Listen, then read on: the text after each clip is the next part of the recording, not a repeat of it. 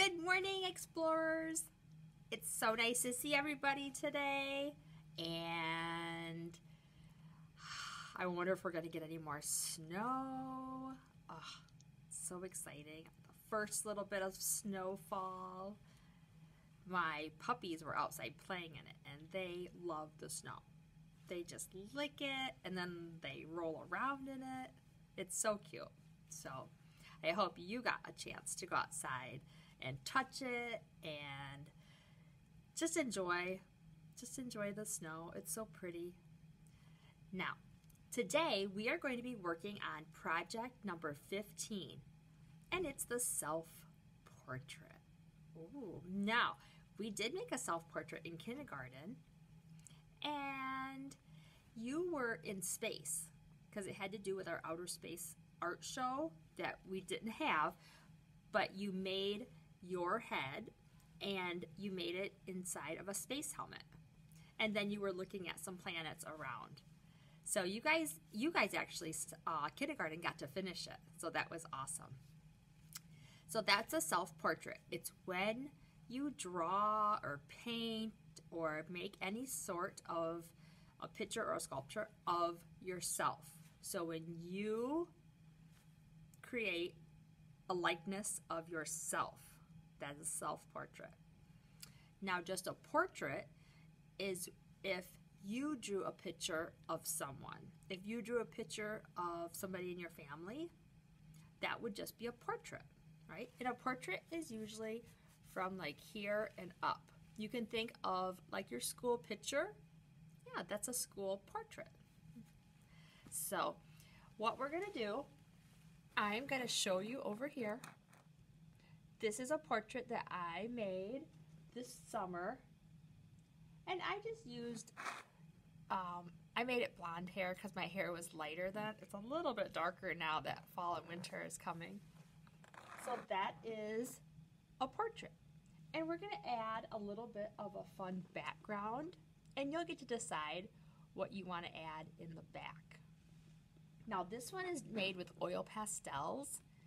So if you happen to have oil pastels, you can use them. Otherwise, we're just going to use crayons. Okay, that's fine too.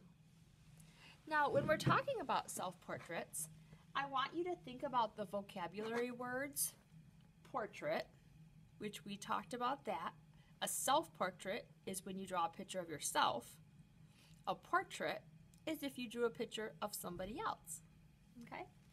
And then pattern, we're gonna add some fun patterns around our portrait. You can see I made a red and white upside down bumpy line pattern. I like that pattern because it reminds me of my art room and being an ice cream parlor. Yeah. And I made the shirt green because green's my favorite color. And our third word vocabulary word is proportion. Now, when you're working on a self-portrait, you have to think about proportion, right? You don't want one eye a lot bigger than the other, right? So your eyes are the same, your nose is the same on both sides, and your mouth is the same, okay? Because if you cut yourself, drew a line right down the middle, you would be the same on both sides and that's called symmetrical. So you are symmetrical. So we want to definitely see good proportion in your self-portrait. Now, if I turn this way and we look over here, the artist we're going to be talking about is Leonardo da Vinci. Now, Leonardo da Vinci is famously, famously known for you might have guessed it, the Mona Lisa. Now, this portrait is from the 16th century, and it's thought to be the most famous portrait in the entire world. Yes. And you can tell that it was created a long time ago because look at how dark everything looks a lot of times all of our portraits or pictures today are bright and happy and we're told to smile big. And you can just tell that she's very calm. Her clothes are darker. The background's a little bit dark. And it's just, you can tell it's an older style. Okay? Now, if we look, they say that you, if you look at her eyes, they follow you around the room. Now, I don't know if that's true, but you could be sitting anywhere in the room and it kind of looks like she's looking at you. I just think that's funny. And it's kind of true if you stare at it for a while and move around. But it's also kind of neat. It's sort of like an optical illusion, like we talked about when we made our op art projects. And it's just a very intense portrait. I really like it, and I hope you guys do too. So you can Google it. Okay, you can look it up on um, any sort of Google images, and you can find more pictures of the Mona Lisa. You can find where people turn like a cat into the Mona Lisa or a dog. So those are kind of fun to see too because she's so famous. She's been around for a long time. And pretty much everybody knows who the Mona Lisa is. In every country, every every school teaches about the Mona Lisa. So, it's really important that you can recognize this portrait. You know that it's the Mona Lisa and that Leonardo da Vinci painted her in the 16th century. Okay? So try to remember that for me, and I'll quiz you on it next year. All right, boys and girls. Now we get to make a self portrait. If you have a mirror, that would be awesome. Go get it. If not, get your white paper and your crayons and meet me back here in just a minute, all right? All right, bye, boys and girls. Hi, boys and girls, I'm back. You can take one white 9 by 12 piece of paper out of your handy dandy art packet. It's getting kind of thin, isn't it? We've done a lot of projects. And you can use a pencil if you want to to draw. I know self-portraits are sometimes kind of hard, but it's up to you. Or you can just use your crayon. I'm going to use a tan. And this is how you're going to start. Okay, think of about the size of my hand or a little bit bigger. You're going to start by making a U shape on your paper. Good. Next, you're going to add a neck. So give yourself a neck. It's a curved line on each side, and it's probably about the width of your hand. Good job. Now you want to think about your eyes, your nose, and your mouth. So, about partway down, you want to make, looks like a rainbow line, and then another upside down rainbow line, and then a rainbow line, and another upside down rainbow line and that will be for the shape of your eyes. Next, you want to make a circle. Make sure the inside circle touches the top and the bottom of your eye shape. That is the iris of your eye or the colored part. And then you need another circle for your pupil. And then depending on which way your eyes are looking, or maybe they're looking straight ahead, you can make a little nose. So you can just make a little curved line. Can look like a little J for your nose. And then we're going to make our lips. Now, you want to think about that vocabulary word proportion. So we don't want to make our mouth huge, right? You can kind of see how big the eyes and the nose are. And you can make your mouth should go to about the middle of each eye. Okay? And you can look in the mirror to see if you have, some people have fatter lips and some people have thin lips. So when you look in the mirror, you can look to see about how big your lips are. Good job. And then your ears. On the sides, start about the middle of your eye and you're going to make a C shape on each side for your ears. And then you can make another little line on the inside for the inside of your ears. Good job, boys and girls. Now, we're going to draw the hair. Now, today, my hair is behind my ears and it's up in a barrette. But you can definitely see my waves, my wavy bangs. All hair starts from the top of the head, remember?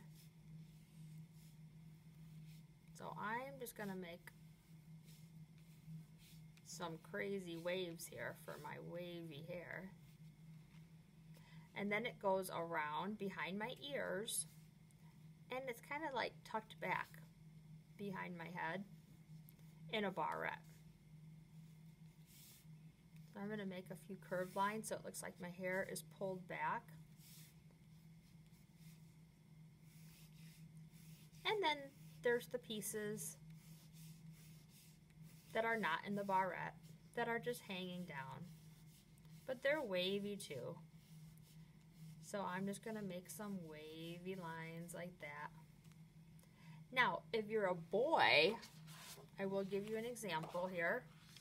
If you're a boy and your hair is, your face is like this, you might have bangs, so you'd have a zigzag line. And then maybe you have some waves up on top but you have shorter hair, right? So these would be your eye shapes, okay? But then that would be what your hair looks like.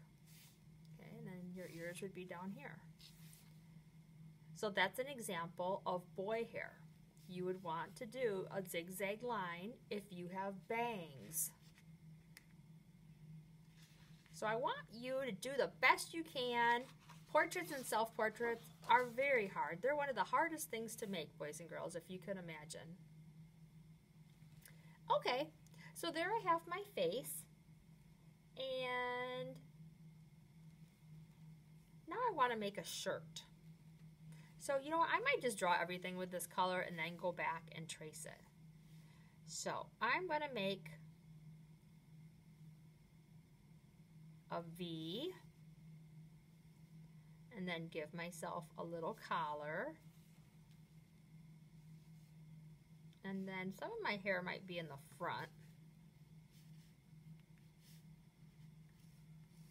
And then shoulders. So that's that's the V of my shirt and my shoulders. Good. Now this is the fun part. This is where you could add some detail in the background. Now with our ice cream project, maybe you want to draw a horizon line and make wallpaper and a floor. Or like in my self-portrait, I made my ice cream parlor design on the top with a red and white striped design or pattern. So you can do whatever you want in the back. So maybe, hmm, I, you know what? I think I want to divide mine in half. So I'm going to divide mine in half like that. And on the top, I think I want to make, I'm going to wait and I'm going to use color, but I'm going to make some spiral lines. And then on the bottom, I think I might just use one solid color. So I'll show you how I'm going to do that in just a minute. Right now, I want you to think about your eye color. Okay? This is the iris or the colored part of my eye. And I have blue eyes. So I would color this area blue.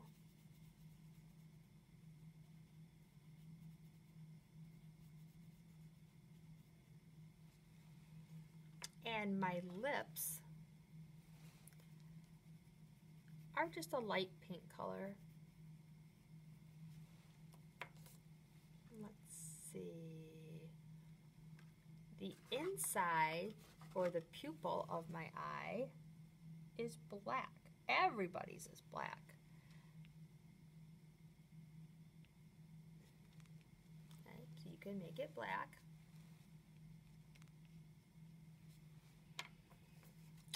Can also make eyebrows. Remember, eyebrows are little individual hairs that go around your eyes. You can also make eyelashes later after we use our skin color, which I'm going to use apricot. That's probably the closest that I have. I have peach too. Uh, peach might be a little bit closer. Okay? Yeah, peach is a little bit closer. So I'm going to use peach and color my skin.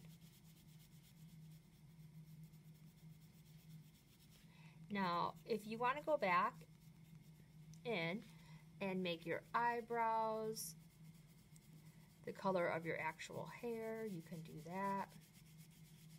If you want to draw anything darker, you can.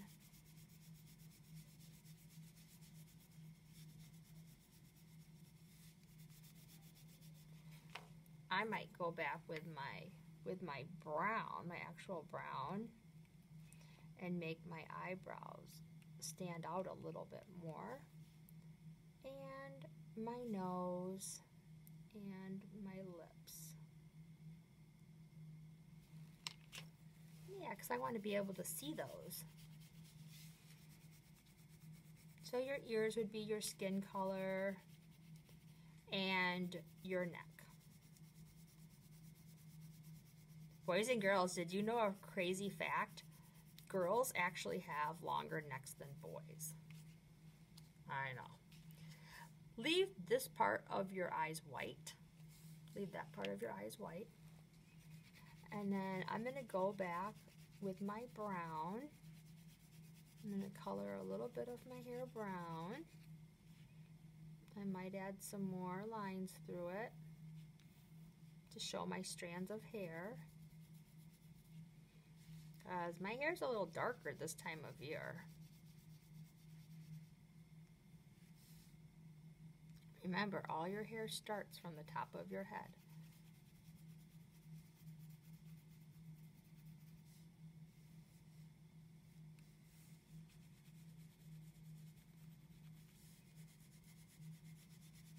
Now, while you're coloring everything in, you can think about what color you would like to color your shirt.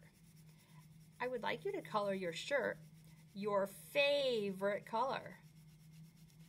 So remember, I said that green is my favorite color. So I'm going to color my shirt green. You know what? Some of you girls that have highlights, if you have like purple or pink highlights, you could draw those too. Wouldn't that be fun? Or maybe if you just want highlights, you could add a little highlight for yourself. Okay, so my favorite color is green. So I'm going to color my shirt green. I'm going to use, let me see, this is yellow green. for my collar of my shirt. And then, let's see. This is, I have a few different colors of green.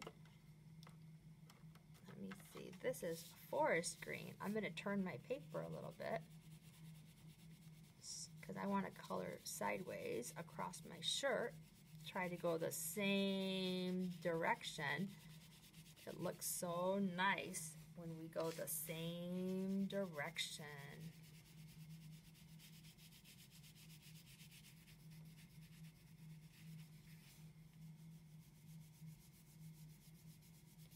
And I'm kind of using the side of my crayon and picking up a little bit of texture. I love texture. Okay. Now, I think the bottom down here, the bottom of my paper, I want to just color that purple. It's a beautiful color, shade of purple. And then you can really see my shirt.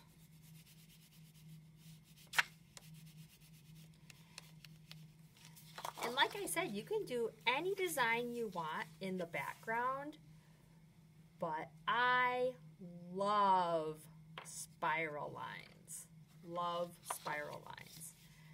So I'm going to give you an example. First, I'm going to color the whole back with this lighter green. I just can't get away from green. I love green. Love it, love it, love it.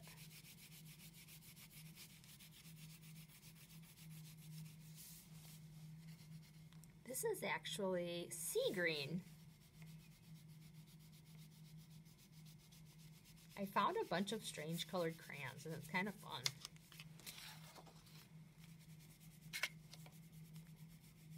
So you can see I'm turning my paper a lot, boys and girls. If that helps you color an edge better, do it. All right, now what I'm gonna do is I'm just gonna take all kinds of fun colors. This one's called strawberry. And I'm gonna make different colored spiral lines all over the background. This one's called macaroni. I told you there are some funny colors in this box of crayons that I found. This one's called Pacific Blue. Hmm, probably after the Pacific Ocean, right?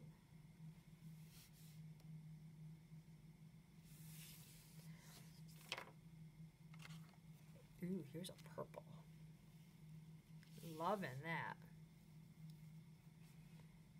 So boys and girls, have fun with this. Think of all those lines that we made and pick one of your favorite lines and start using it in the background. Maybe you liked the zigzag line. Maybe you liked the wavy line. Okay, this is your creative choice. I think now I'm going to add some baby spirals because I really want to fill up this background with spiral line designs.